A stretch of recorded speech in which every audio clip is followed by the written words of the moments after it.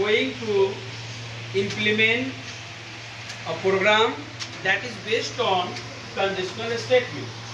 Conditional statement, you know, different different types of conditional statement. First is uh, if we want to check a single statement, we apply a if condition.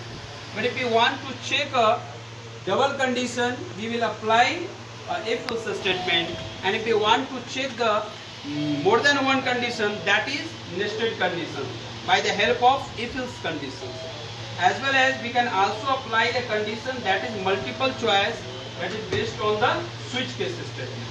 So here uh, you must implement if statement, if else statement as well as ternary operator that is represented the question mark. Okay.